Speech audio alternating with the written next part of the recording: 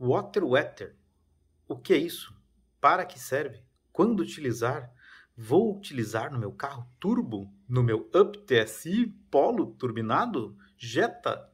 Então, gente, por que, que eu estou trazendo isso para vocês? É uma tecnologia muito importante e interessante que serve para deixar a água mais molhada. Sim, este produto aqui é um aditivo para radiador que basicamente funciona atuando na tensão superficial da água. O que ele faz? Ele literalmente reduz a tensão superficial da água e com isso a água molha, gruda, adere melhor às paredes dentro do radiador ou dentro de um intercooler.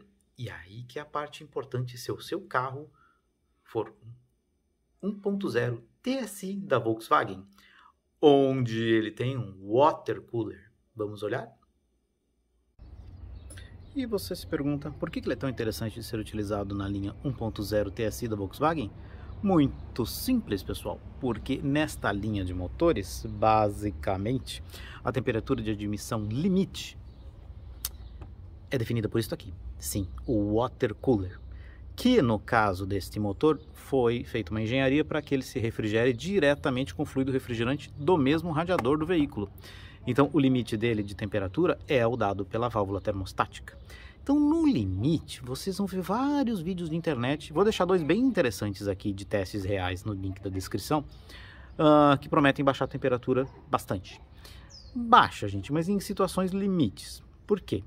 Porque se está limitado pelo, pela válvula termostática, você tem o limite de temperatura já projetado para o motor por melhor que seja a troca térmica, você não vai resfriar o motor além daquele limite. Mas o que você pode fazer? Resfriar abaixo, retirar pontos de calor, você vai estar favorecendo a troca térmica de todo o sistema, inclusive do radiador, tá? Então você vai ter uma troca térmica otimizada e isso vai ajudar a prolongar a vida útil do motor.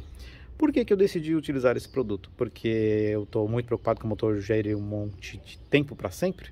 Não, gente, eu estou com um pequeno delay meu líquido de arrefecimento chegou no valor limite mínimo, ou seja, tem que completar.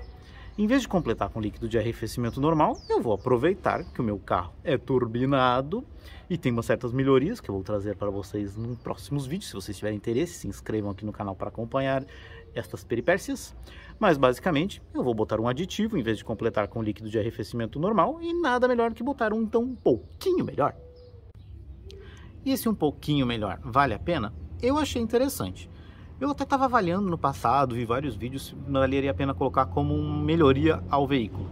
Não achei que valesse a pena, tá? Porque, sabe aquele enganação, vai, será que é, é ouro de tolo, tá valendo a pena, o pote de ouro no fim do arco-íris? Mas então, agora que eu tenho que realmente completar o nível aqui do meu líquido de arrefecimento, não achei caro o produto a R$ 149,90, que é o preço de mercado que eu achei em várias lojas e comprei na Auto Super aqui uh, pela internet.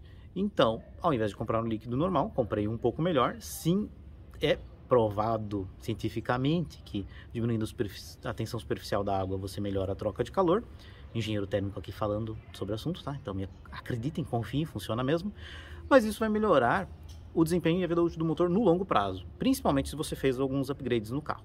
Se você fez muitos upgrades no carro, aí sim considere utilizar bastante deste produto eu vou basicamente completar o nível aqui uh, ah, para manter o nível do motor, né? Isso é muito importante, né, gente? Senão o motorzinho estraga. E vou ter, obviamente, o benefício do produto. Então, recomendo, achei o valor bem interessante, faz sentido para o meu caso, avalie se faz sentido para você. E avalie se você gosta desse tipo de conteúdo de tecnologia e inovação, a se inscrever aqui no nosso perfil e acompanhar os vídeos que a gente traz para vocês. Um grande abraço, até a próxima.